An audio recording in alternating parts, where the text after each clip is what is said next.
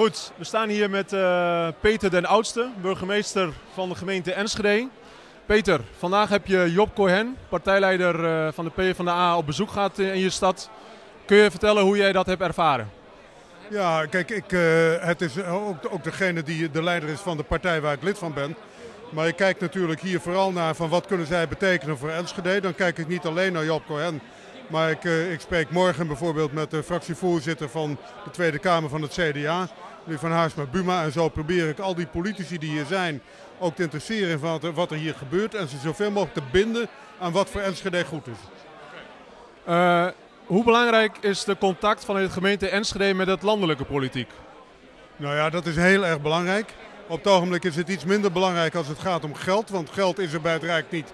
En er komt dus ook steeds minder geld hier naartoe. Maar het is wel belangrijk om, uh, om op de Haagse agenda te staan, omdat het de springplank is voor Brussel.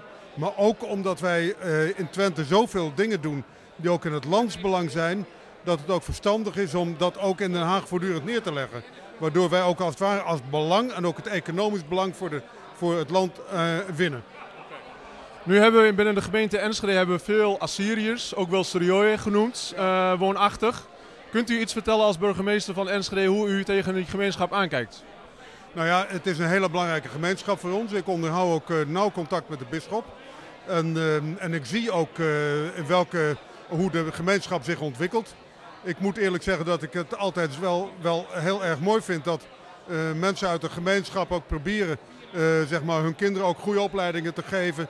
je ziet ook veel jonge kinderen ook goede opleidingen hebben. Maar ik zie ook dat de gemeenschap ook nog um, een zekere geslotenheid heeft. Hè, wat ook natuurlijk toch ja, voor iedereen ongemakkelijk is. Hè? En uh, voor ouders in hun relatie met kinderen, maar ook zeg maar, om echt in, in onze maatschappij ook uh, zich volledig te ontwikkelen.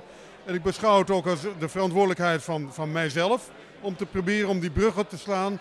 En, uh, en de gemeenschap ook zoveel mogelijk te helpen om in, in de maatschappij waarin zij, zij leven, net als ons, ook op een goede manier op een gelijkewaardige wijze als ons ook te kunnen opereren. Kunt u nog even ingaan op vanavond? Van, uh, we hebben dus inderdaad uh, Job Cohen hier op bezoek gehad. Hoe heeft u het debat uh, die heeft plaatsgevonden met de inwoners van Enschede, hoe heeft u dat ervaren? Nou, ik moet zeggen dat ik dat heel erg leuk vind.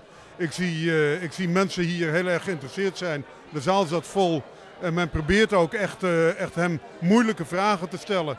Dus zo hoort het ook, hè. zo hoort het voor elke lijsttrekker waarbij, waarbij hij een soepel antwoord gaf. Maar ik zeg er ook altijd bij, het is altijd iets makkelijker om uh, in de oppositie, op oppositie te voeren dan om regeringsdeelname te vertegenwoordigen. Want je kunt altijd iets vrijer praten als je even op dit moment geen regeringsverantwoordelijkheid draagt.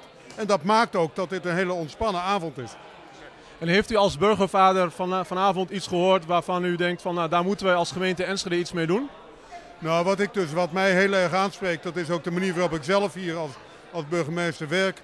Dat is dat je hebt de gemeenschap, het samen optrekken, samen doen, respecteren van elkaar heb je nodig om, uh, om ook met elkaar op een goede manier samen te leven.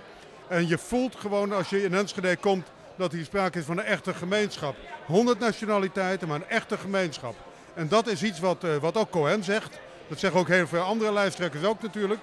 En dat is iets wat wij in Enschede op een hele goede manier doen volgens mij. En daar hou ik me ook heel erg mee bezig. Wilt u nog tot slot een laatste woord richting de Assyrische, ook wel de serieuze gemeenschap, uh, iets zeggen?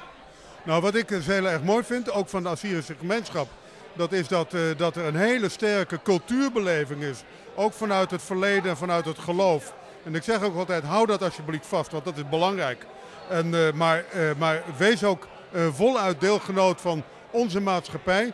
U bent dat, zeg ik altijd, hè, want ik voel ook dat, dat de wil daar ook is. En uh, laten we ook de openheid met elkaar opbrengen om met elkaar problemen te bespreken en kansen ook te zien. En dan vindt u de burgemeester ook aan de kant van de Sojoy-gemeenschap om daar aan te werken. Goed. Dank u wel. Oké. Okay.